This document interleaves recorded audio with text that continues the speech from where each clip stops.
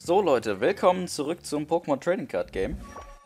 Heute mit hauptsächlich Booster aufmachen und ein bisschen Erklärung. Also zum einen möchte ich sagen, ich fand's cool, dass ihr den letzten Part wirklich so gefeiert habt, den langen. Der war echt extrem übel lang. Machen erstmal das einzelne Booster Pack auf. Aber er, hat euch gefallen. Ich fand's bloß schade, dass auch gesagt wurde, dass manche nicht mit Werbung gesehen haben. Das finde ich schade, weil gerade in so einem Part stelle ich mal vor, wie viel ich da aufnehmen könnte. Und ja, Leute, Werbung, darüber finanziere ich mich. Ohne Werbung würde es dieses Let's Play nicht geben. Oh, ein neues Toxiquack EX. Das ist auch schön. So, jetzt kommen die Booster, die wir brauchen. Haha. ja, was gab's denn sonst noch so? Ja, sonst bei den Kommentaren nicht viel los. Und bei mir privat jetzt auch nicht so wirklich. Ich habe mal wieder an meinem Digimon RPG weitergearbeitet. Ich mache ja ein Pen-and-Paper-Rollenspiel. Und ähm, ja, ich arbeite stetig dran. Mal gucken, vielleicht kriege ich es irgendwann sogar halbwegs spielbar. Ein 4-Non-Tor EX haben wir jetzt auch in unserem Team. Das finde ich schön. Ein Starmie, das mir aussieht wie ein Laser. Ja, zum wie er in diesen Spionagefilmen benutzt wird, um eben Glas zu schneiden. Schon mal Schwachsinn, dafür nimmt man Diamanten, aber trotzdem. Oder so ein äh, Bewegungsmelder.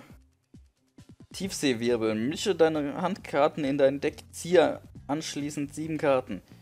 Und Gleichgewichtsfessel. Wenn du und dein Gegner selber Anzahl Pokémon auf der Bank habt, ist das aktive Pokémon deines Gegners jetzt paralysiert. Okay, es, es ist okay. Es ist kein tolles Pokémon, aber es ist okay. Ähm, durchsuche der Deck nach einem Pokémon. Ja, das Schwerball kennt man. Es ist ein neues Design, aber den Schwerball an sich kennt man.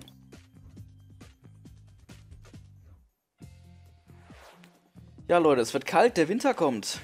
Habt ihr auch alle schön eure Weihnachtsgeschenke über Amazon gekauft? Nein, habt ihr nicht. Zumindest nicht über meinen Link, soweit ich das sehen kann. Aber es ist schön, dass ihr euch, also wenn ihr eine schöne Weihnachtszeit habt. Was, wie verbringt ihr denn Weihnachten eigentlich? Feiert ihr es mit den Eltern oder feiert ihr privat? Schreibt mir das auch mal in die Kommentare. Würde mich wirklich mal interessieren, wie ihr Weihnachten feiert. Und was gibt's zu essen? Mein Vater sucht noch. Was er zu essen machen kann. Ja, furchtbar. Immer die Suche nach dem, was kann man essen. Also hier ist ein Quiekel mit Pulverschnee und Lebensschelle braucht zu viel Energie. Spiegelsperre und Risikotackle, das wohin genau kennen wir auch schon. Magnetischer Kreislauf. Ach so, das ist das, was... Nee. Ach so, damit kann man beliebig viele Elektroenergie von seiner Hand spielen und ein Donnerkeil, der mehr so auf dem Feuertyp basiert, dass man eine Karte ablegen muss für viel Schaden. Auch schön. Das Pokémon, das sehr, sehr merkwürdig ist und es hat auch nichts Tolles drauf, muss man sagen. Oh, meine erste Turbokarte. Und du bist ein Florges. Florges. Ich, ich muss jetzt mal gerade hier. So, ich habe jetzt mal meinen Bildschirm gedreht, ja. Den halte ich jetzt in Händen. Mache ich ganz toll. Regel für die Turbo-Entwicklung. Ja, es erhält die Attacken, Schwächen und Resistenzrückzugskosten aller seiner Entwicklungen bei.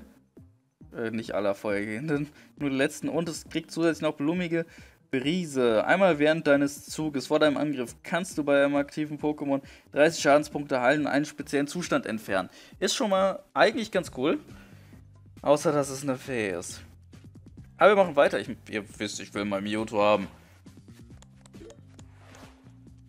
Äh, es sieht ganz... Ich mag das, weil das so eine richtige Figur inmitten von echten Kakteen. Das, das sieht cool aus. Dann hier ein Zorua mit Schleife im Haar und ein Wrestlerado mit Rückzugskosten und das sogar nicht EX-Pokémon angreifen kann. Aber wir sind ja noch lange nicht fertig. Ach Gott. Oh, Mega 4 Nontor mit Kryomont. Wenn auf diesem Pokémon mindestens 10 Schadensmarken liegen, also 100 Schaden, das Viech schon hat, fügt dieser Angriff 150 weitere Schadenspunkte zu. Das ist übel, das ist richtig übel. Eins haben wir sogar noch. Dann machen wir das letzte Booster Pack auch noch auf.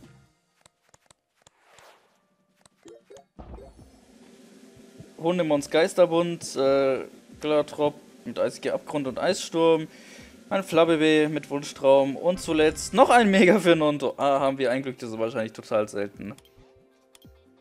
So, dann machen wir jetzt ein kleines Spielchen. Ich weiß auch gar nicht, mit welchem Deck wir spielen wollen. Mit Geräuschen im Hintergrund. Gut, wir spielen mit dem Stahldeck. Heute mal. Ihr seht auch, ich werde es wieder nicht schaffen, das bis zum Ende wieder zu machen, weil ich einfach nicht die Zeit dafür habe. Ich komme nicht dazu. Es sind viele Leute, die dann meinen, ja, als Student hat man doch eigentlich Zeit. Mein Mitstudenten meinen auch, ich habe Zeit. Es ist halt wirklich so, wenn man jetzt playt, man muss sich dann um die anderen Projekte noch kümmern. Man hat ja auch privat immer mal ein bisschen was zu tun. Das wird ja oft unterschätzt, dass man auch ein Privatleben hat. Auch wenn man studiert und Informatiker, also wenn man Informatik studiert und ähm, hier Let's Played, hat man trotzdem immer noch ein Privatleben. Und das wird oftmals dann ignoriert. Und du hast doch Zeit, du hast doch nur da und da Uni und dann machst du da und da was privat. Äh, dann machst du da und da hier dein, bist du in der Uni. Das passt doch. Und dann hast du hier deine Let's Plays, das ist doch okay. Ja, schön. Was ziehe ich denn hier eigentlich so ein Mist?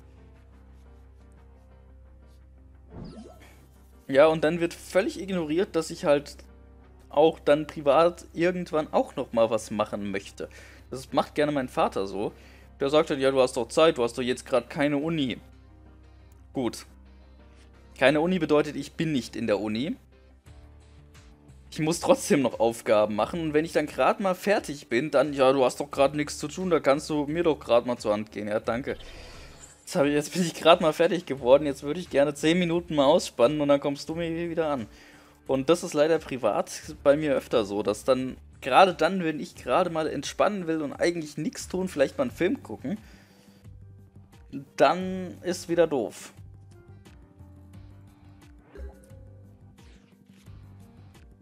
Übrigens, habt ihr das mitgekriegt von One Piece?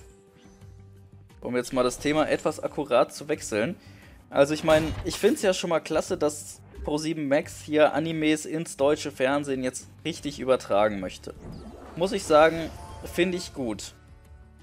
Was dann wieder so ein bisschen dem entgegenwirkt, dass das Vieh uns jetzt killt und wir das in Kraft gleich nochmal machen können. Egal.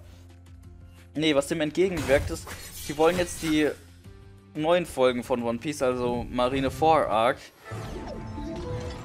ähm, das wollen sie um 8 Uhr morgens samstags ausstrahlen. Ich meine, sag mal, geht's noch? Ihr habt, ihr seid der Kanal, der gelernt hat, dass Jugendliche das gucken. Ja, weil ihr strahlt ja auch nachts aus. Gut, unter der Woche nachts ist auch immer doof. Obwohl, bei mir geht das noch. Ja, aber ihr habt gelernt, dass Jugendliche das gucken. Deswegen macht ihr die Zensur nicht. Und dann strahlt ihr es zu der Zeit aus, in der jeder normale Mensch noch schlafen würde. Respekt. So blöd muss man erstmal sein. Also, dafür habe ich kein Verständnis.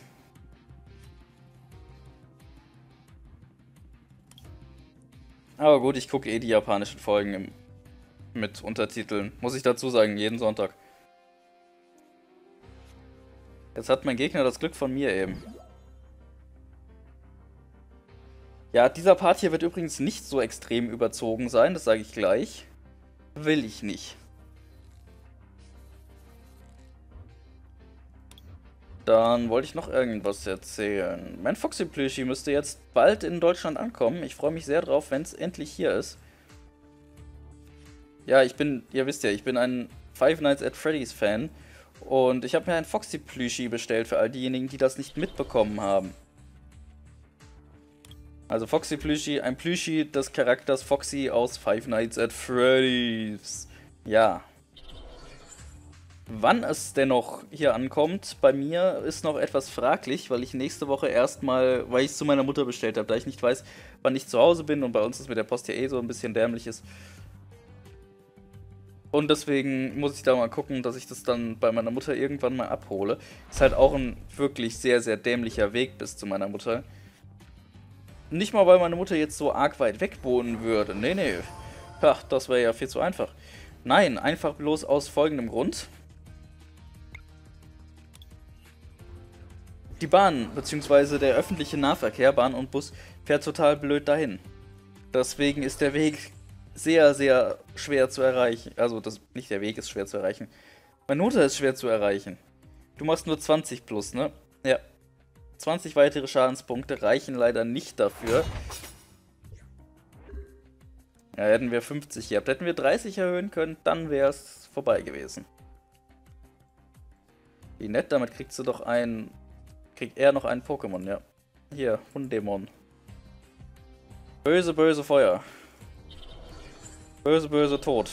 Ja, wir werden wieder verlieren. Ich bin heute auch nicht so richtig in Stimmung, muss ich sagen. Von meinen Arbeitskollegen, über die ich mich da ja gerne mal über, beziehungsweise Arbeitsgruppenkollegen, sonst klingt es ja so, als würde ich arbeiten, aber ich bin ja Student. Kommt zwar fast aufs Gleiche raus, aber trotzdem. Ja, auf jeden Fall, da ist der eine jetzt krank, das heißt, da muss man dann auch wieder gucken, wie man es macht. Und es ist alles, es ist echt derzeit, irgendwie ist der Wurm drin. Aber keine Sorge, die Projekte laufen weiter. Ich muss auch mal gucken, äh, weil ich noch gucken muss wegen der Aufnahme von Diamant. Weil Diamant war ja, glaube ich, das, die erste, also Diamant und Perl. Ich weiß, es wurde auch eine andere Edition genannt, aber nein, ich bringe tatsächlich Diamond und Pearl. Beziehungsweise Diamond. Pearl nicht. Und da muss ich noch mal ein bisschen Nachforschungen betreiben. Außerdem juckt mein Kopf. Das hat jetzt nichts damit zu tun. Das ist, wenn das Headset so lange da drauf sitzt. Ja, ja, die... Zurück zur Weihnachtszeit, Leute. Ist bei euch Schnee? Bei uns war heute den ganzen Tag Nebel, furchtbar. Aber wenn es bei euch schneit, wäre cool. Bei uns schneit es nämlich nicht. Ne, kein Stück. Überhaupt nicht. Nicht die Spur von Schnee. Aber Nebel. Durchgehend. Aber da kommt man sich vor, als wäre man in England.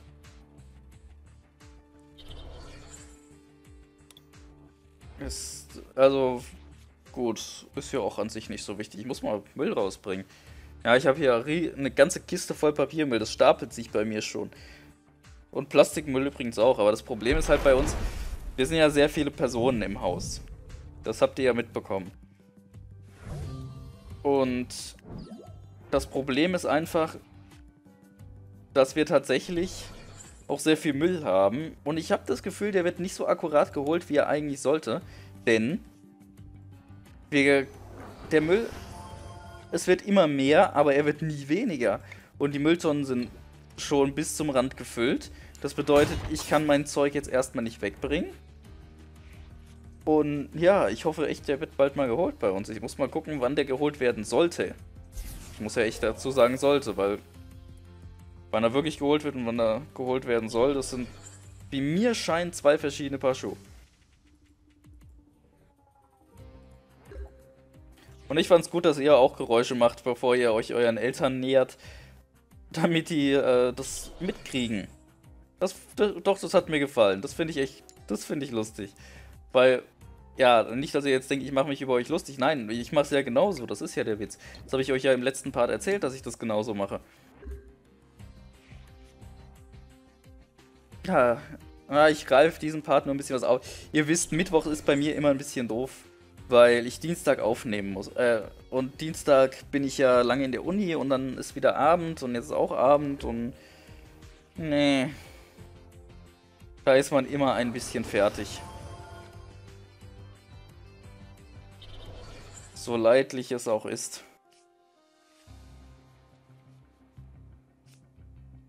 So, komm. Jetzt dreimal Kopf. Einmal, zweimal, dreimal. Danke. Das hört ja gar nicht mehr auf. also gut, 240 Schaden mit einem Grammoklis zu machen, da gehört schon Glück dazu. Das gebe ich, das gebe ich zu. Es war jetzt nicht nur Talent. Also, ja, bisschen Glück war dabei. Ein bisschen. Ganz kleines bisschen, nein. Es war natürlich vollkommenes Glück. Aber wenn mich jemand fragt, das war Talent. Ne? Nur damit ihr es wisst. So, ich möchte jetzt mal was probieren. Wenn unser Gegner nämlich nicht dran denkt, dass er das Vieh austauschen muss, dann kriege ich es mit Kismetwunsch klein. Und wenn nicht, dann haben wir jetzt zumindest so ein bisschen ein Holding drin, das uns Zeit verschafft. Und worüber ich mich übrigens noch beschweren muss, wo, was ich vergessen habe, mich darüber zu beschweren. Leute, kennt ihr das, wenn jemand onkommt und euch anschreibt und dann nicht mehr antwortet und irgendwie erst eine Woche später wieder antwortet. Sowas finde ich total beschissen. Ja, sorry, auch meine Wortwahl, aber ich kann das nicht leiden, wenn jemand ein Gespräch anfängt und verschwindet dann. Mitten im Gespräch. Das geht nicht. Wenn man redet oder wenn man anfängt, anfängt zu reden, anfängt zu reden, ja. Wenn man anfängt zu reden, dann muss man wirklich auch mal bis zum Ende durchziehen. Ja, ich möchte keine Karte spielen, das wäre ja dämlich. Schaden gefallen, nur noch 110. Ja, schön, dass wir doch noch einen Sieg erringen konnten.